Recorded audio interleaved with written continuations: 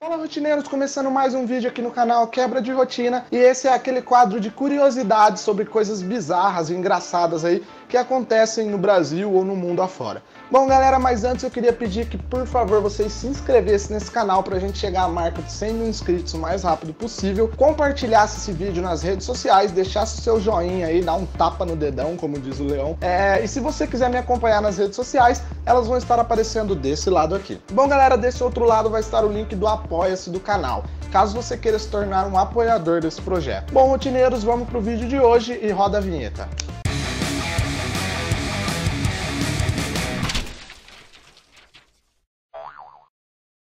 Bom, rotineiros, está circulando nas redes sociais que o presidente Temer teria aprovado o implante do chip em todos os brasileiros e que isso seria obrigatório.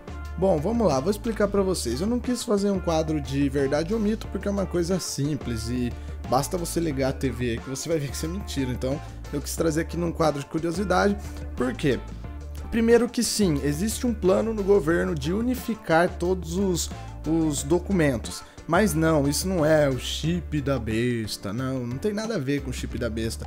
É somente uma unificação dos documentos, todos em um só. Você vai andar com um cartãozinho e nele vai conter todas as informações, sua carta, telefone, endereço, contato, ficha criminal, tudo.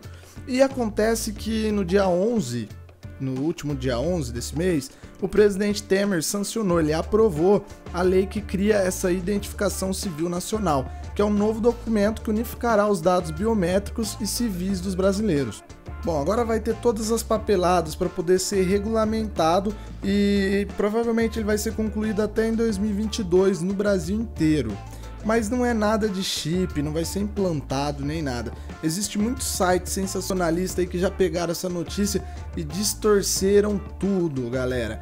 O Brasil passa por problema de você ter que carregar 15 documentos, é uma coisa muito chata. E tem vários países lá fora que não precisa, com apenas um documento você faz tudo que você precisar. E vai ser esse documento aqui, que vai ter nele é, um comprovante de renda, endereço, é, se você tem nome sujo, se você deve para a justiça, tudo vai ter. Por isso que ele é conhecido como CU. Por incrível que pareça, é CU, que é um cadastro único.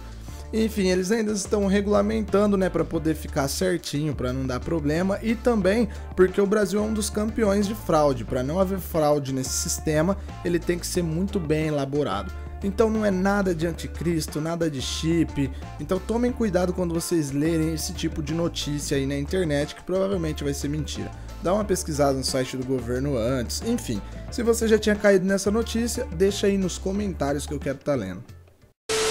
Bom, rotineiros, deixa aí suas opiniões nos comentários sobre essa bizarrice, sobre essa notícia curiosa. Eu vou estar lendo todos os comentários. Muitas vezes não dá para responder todos, mas eu consigo sempre estar lendo ali, deixando um gostei, um coraçãozinho, enfim.